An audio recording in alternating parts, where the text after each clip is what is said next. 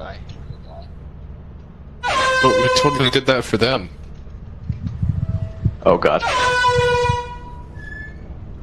Oh, we are. As Yeah, we're dead. Uh, hey, you won't honk the horn in space though, right? Welcome to our disciplinary process. Wait, where's David?